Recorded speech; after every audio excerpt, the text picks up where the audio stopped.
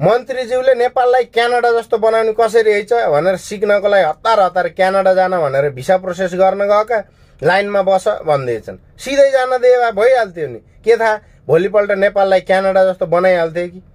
अब मन्त्री जस्तो मान्छेलाई आम मान्छेलाई झै फुर्सद हुँदैन। देश चलाउने मान्छे बिजी हुन्छन् अरे। यति धेरै बिजी भएर काम गर्ने मन्त्रीज्यूलाई त दुनियाँले चिन्नु पर्ने सेक्युरिटी गार्डले शुद्ध चिनिन्छन् भने।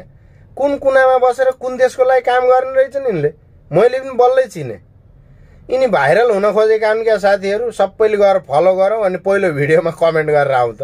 टक हावा तालमा मन्त्रीज्यूले नेपाललाई क्यानाडा जस्तो बनाउने कसरी हैछ भनेर सिक्नको लागि हतार हतार क्यानाडा जान भनेर भिसा प्रोसेस गर्न गएका लाइनमा बस भन्दैछन्। सिधै जान दिए भइहाल्थ्यो नि। के थाहा? भोलिपल्ट नेपाललाई क्यानाडा जस्तो बनाइहाल्थ्यो कि? अब मन्त्री जस्तो मान्छेलाई आम मान्छेलाई झै फुर्सद हुँदैन। देश चलाउने मान्छे बिजी हुन्छन् अरे। यति धेरै बिजी भएर काम गर्ने मन्त्रीज्यूलाई त दुनियाँले चिन्नु पर्ने सेक्युरिटी गार्डले शुद्ध चिनिन्छन् भने कुन कुनामा बसेर कुन देशको लागि काम गर्ने रहेछन् यिनले? मैले पनि बल्लै चिने। यिनी भाइरल हुन खोजेका हुन् क्या साथीहरू? सबैले गएर फलो गरौँ अनि पहिलो भिडियोमा कमेन्ट गरेर आउँ त। हावा तालमा।